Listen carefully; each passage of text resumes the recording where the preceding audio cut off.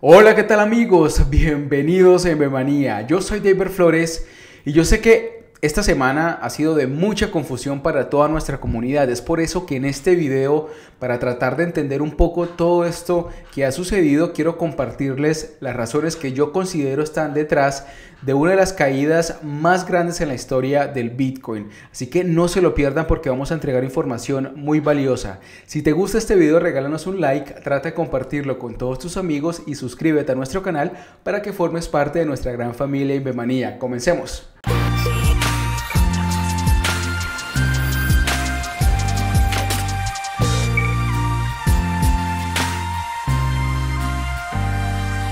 Esta ha sido una semana para el olvido, no solamente en el Bitcoin, sino en la mayoría de las criptomonedas. Vemos como el Bitcoin eh, cayó un 36%, Ethereum, que ha sido pues una de las más perjudicadas, un 42%, Bitcoin Cash 47%, Litecoin 49%, y en fin, si repasamos la mayoría de las criptomonedas, pues vemos que están en rojos en velas de una semana y las grandes favorecidas fueron las monedas estables. Y esto se debe a un fenómeno eh, psicológico dentro digamos de los mercados que tiene que ver más allá no solamente digamos con ese componente psicológico de incertidumbre sino también de histeria colectiva. Y es que cuando ya digamos en los mercados hay por ejemplo este componente eh, de incertidumbre eh, realmente que conlleva, digamos, a la salud misma de las personas, pues se llega a ese último elemento y es tratar de resguardarse en efectivo, más allá, digamos, de, resguardos de valor típicos como el oro, como la plata, la gente dice, necesito efectivo porque no sé qué va a pasar. Mi familia puede correr peligro y lo que yo quiero es tratar de convertir todo ese portafolio que yo tengo a efectivo. Y un fenómeno muy similar es lo que efectivamente pasó con las criptomonedas, que puede explicar cómo los stable coins, por ejemplo, Vamos a buscar uno por acá, por ejemplo esta. Eh, USD Coin, ves como efectivamente eh, creció un 4%. Y si repasamos la mayoría de los stable coins, pues ves que son los únicos que están en verdes. Por ejemplo, Tether creció también un 4%. Y es que la gente lo que busca es resguardarse y protegerse en efectivo. Y eso también lo vamos a explicar con lo que ha pasado con los mercados tradicionales. Pero lo positivo de todo esto es que, bueno, en el día de hoy ya estamos en velas en verdes. Vemos como el Bitcoin se ha recuperado un 17%, Ethereum un casi 27%, Ripple 16%, eh, eh, Bitcoin Cash 26% eh, y en fin, ves como digamos en el día de hoy pues ha estado francamente pues en niveles de recuperación muy interesantes. Y esto se debe a tres factores que es los que quiero em-, empezar con el análisis de por qué es que surgió todo esto, porque yo sé que la gran pregunta es, pero ¿Qué carajos pasó ayer que efectivamente generó todas estas caídas? No solamente con, digamos, Bitcoin, sino vimos como la, mayoría de las bolsas a nivel mundial eh, tuvieron todas esas caídas estrepitosas. Y entonces, ¿qué pasó en realidad o cuáles son esas tres causas que yo estoy o que estuve analizando tratando de explicar todo esto que sucedió con el Bitcoin y pues con la economía en general para ser francos? El primero tiene que ver con que el miércoles eh, este miércoles, digamos en la noche de esta semana, el presidente Trump, pues por toda la presión que ha estado eh, generando esta oleada de epidemia del COVID-19, tuvo que hablar, tuvo que hacer un anuncio a nivel nacional para establecer qué vamos a hacer, cuál es el plan de acción y digamos para enfrentar pues esta, esta pandemia. Entonces, el presidente en realidad lo que hizo fue hablar de las maravillas de la economía de los Estados Unidos, lo fuerte que son en términos de salud, de tecnología, de ciencia, y mostrando como esta grandilocuencia, pero en realidad no habló del plan exacto que se iba a hacer, habló de bloquear Europa con los Estados Unidos y esto obviamente generó todo un pánico, no solamente aquí a nivel, digamos, nacional en los Estados Unidos, sino también el rechazo de Europa y pues la protesta diciendo cómo es que vas, a bloquear si eso en realidad no fue cierto. Es decir, están haciendo unos límites al, al transporte de personas, pero digamos de carga eso continúa. Entonces ahí generó un pánico y el otro pánico que se generó es por estar tratando de aprovechar su momento realmente para calmar los mercados, calmar a la nación y lo que hizo fue generar un marketing diciendo lo grandioso que es su administración y el país, pero no decir esto es lo que vamos a hacer. Estuvo prometiendo ayudas, paquetes financieros que ni siquiera eran, digamos, hasta ese punto aprobados y todavía no lo han sido aprobados por el Congreso. Entonces prometió muchas cosas que él en realidad no sabe si se van a realizar. ¿Cuál fue la consecuencia de todo esto? Bueno, al día siguiente, el jueves, generó el pánico general, no solamente en las bolsas de los Estados Unidos, sino también en las bolsas a nivel eh, internacional. Entonces, obviamente, los índices europeos cayeron y el SP500 en los Estados Unidos, pues vimos cómo tuvo toda esta caída estrepitosa. El Nasdaq, pues ni se diga, también ha caído, eh, digamos, el, SP500 y el Nasdaq han tenido niveles de caída récords que, que no se veían hace mucho tiempo.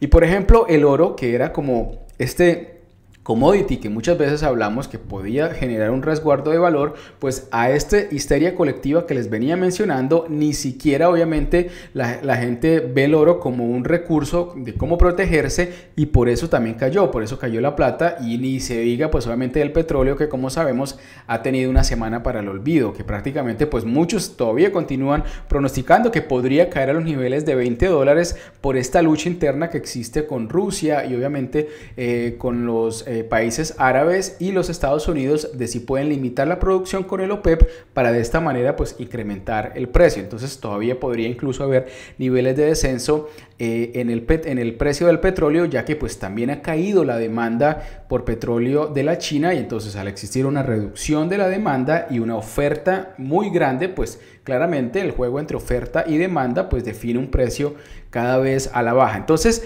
en, en resumen pues el presidente Trump Contrario a lo que pues, eh, tenía un plan inicial de calmar los mercados, pues generó el efecto contrario y esto pues obviamente hizo caer eh, todo, todas las bolsas, todos los mercados, incluyendo pues obviamente el Bitcoin. Ese es como el primer punto de por qué, y, digamos como la génesis de por qué ayer tuvimos toda esta caída en, en escalada, ¿no?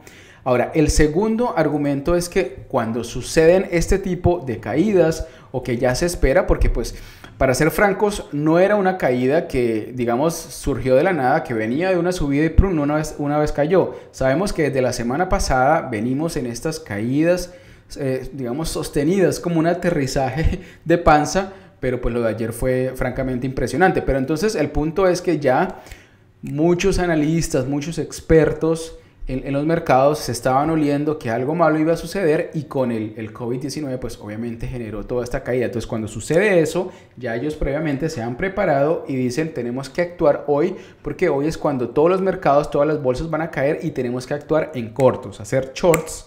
Sí, o sea, este mercado de derivados para poder obviamente rentabilizar cuando los mercados caen, porque yo sé que muchas personas aquí no están familiarizadas con los mercados financieros, pero tú como trader puedes ganar en largo, es decir, puedes comprar barato para luego vender caro, pero también puedes ganar cuando los mercados caen que esa es otra fórmula, otro instrumento financiero que pues también genera y, todo, y de hecho genera grandes rentabilidades. Entonces vimos cómo efectivamente con el Bitcoin todas estas plataformas de intercambio que, que juegan, digamos, con estos shorts, con estos mercados derivados, pues tuvieron una, un volumen impresionante de liquidez el día de ayer. Vimos como, por ejemplo, solo para registrarles algunos eh, tweets que estuve viendo, o sea, hablaban de BitMEX, de eh, Bybit, Bitfinex, que realmente estuvieron liquidando muchísimo. Pero ¿por qué pasa esto? Porque cuando tú, digamos, eres una persona que quiere actuar en cortos, lo que haces es, digamos, si quieres ganar 10 eh, veces lo que estás apostando en una caída, digamos, en un, en un por ciento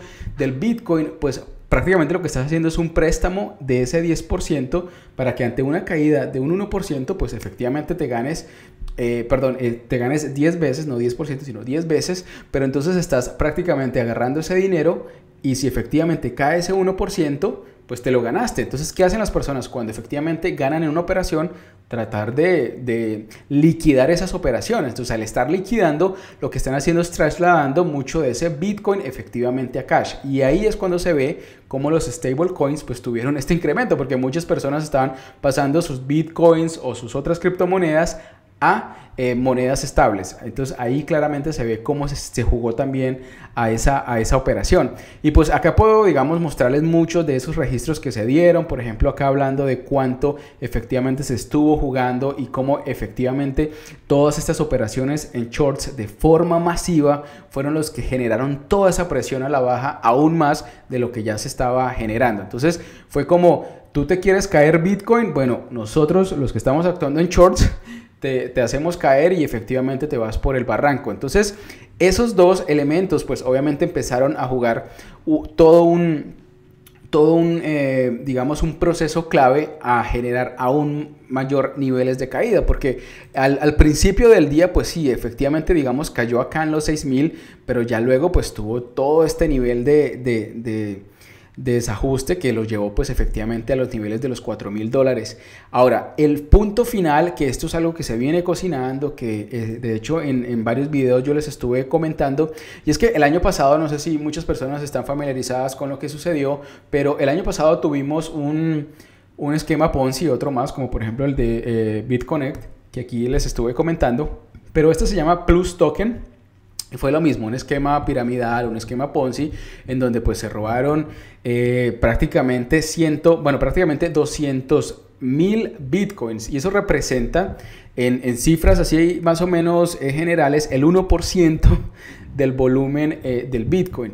Entonces, lo que estuvieron haciendo esta empresa Plus Token, que fue un, digamos, como le repito, un, esquema piramidal en la China, eh, estuvieron tratando de buscar la manera, o, han estado obviamente desde el 2019, en junio, hasta esta fecha, tratando de buscar plataformas donde ellos puedan liquidar eso que se robaron, es decir, volverlo efectivo. Y pues jugadas aquí, jugadas allá, algunas personas estuvieron presas, en fin, pero han estado logrando tratar de pasar todo ese, ese Bitcoin a efectivo. Y esto también ha generado en muchos puntos que, por ejemplo, cuando ha llegado a los niveles de los 9.000, los 10.000, que cuando llegamos, digamos, a los niveles de los 12.000, 13.000, luego todas esas presiones de venta, pues generaron eh, correcciones del Bitcoin. Y ayer, pues también, digamos, se vio cómo se estuvo registrando esa gran caída. Ahora, hay muchas personas que dicen, bueno, pero realmente un 1% de venta masiva del Bitcoin puede generar todo un impacto en el precio al punto de hacerlo caer el 50% de la valoración. Yo diría que sí por varios factores. Número uno, pues por todo lo que estaba sucediendo con la incertidumbre en los mercados de forma general, con la presión efectiva de los shorts que estaban generando esa presión, valga la redundancia, a, la baja. Y tercero, pues que al existir, eh, digamos, esa eh, poca liquidez, en términos proporcionales del Bitcoin, porque pues para nosotros puede ser mucho el dinero en juego, pero en realidad con relación a otros mercados pues todavía le falta mucho volumen, mucho tráfico para que no sea tan susceptible a estas jugadas de ballenas pequeñas en el mercado. Entonces, ante una movida, digamos, a una venta masiva de Bitcoin, pues claramente en un mercado con poca liquidez va a generar un efecto y eso fue lo que generó. Entonces, claramente estos tres factores, repito, toda la incertidumbre que generó pues eh, estas palabras eh, del presidente Trump frente a un plan de acción concreto que actúe en estos momentos ante pues eh, esta emergencia que tenemos con este virus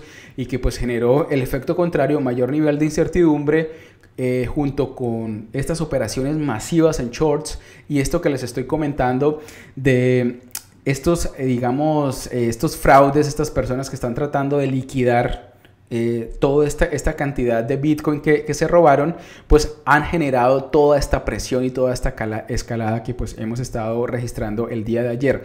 Ahora, ¿qué hacer en estos momentos? ¿O qué estuve haciendo yo? Como para no ponerlo, digamos, en, en un consejo que esto es lo que tienes que hacer. Yo en realidad pues estuve aprovechando el día de ayer. El día de ayer para mí fue compras, estuve, como saben, pues yo aquí...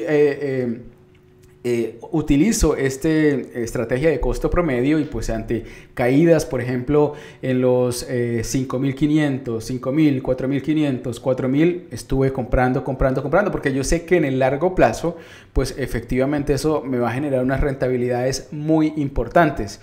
Yo sé que para muchas personas, pues una volatilidad tan alta en un mercado, pues puede ser eh, poco atractiva y pues mi consejo para ellos es que efectivamente conozcan que el Bitcoin es muy volátil, pero que también puede generar en largo plazo rentabilidades muy, muy buenas con relación, digamos, a su nivel de riesgo. Y lo digo por lo siguiente, y es porque, digamos, esta gráfica es muy interesante. Si tú comparas el nivel de riesgo y retorno del Bitcoin con otros activos, por ejemplo, los bonos, como es acá, Facebook, Amazon, Apple, Netflix, Bitcoin es el naranja que ves acá en pantalla y efectivamente tiene el mayor nivel de retorno, ¿sí? frente a, digamos, un nivel de riesgo de pérdida máxima anual. Entonces, como ves, está prácticamente en el mismo nivel de Netflix y de Apple, pero tiene un nivel de retorno mucho mayor con esta correlación que se hace de factores.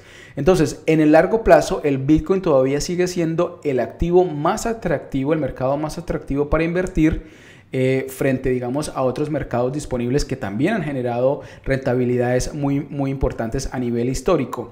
Y me quiero despedir con esta gráfica porque pues cuando existen todas estas desestabilizaciones del mercado, estas caídas pues obviamente genera un pánico, pero si lo ves repito, en una imagen de largo plazo, pues en realidad nada ha pasado. Es decir, esta es, este gráfico es el modelo Stock to Flow, es decir, es el modelo que muestra en un mercado limitado, como por ejemplo puede ser también el oro, que también se puede hacer el mismo modelo.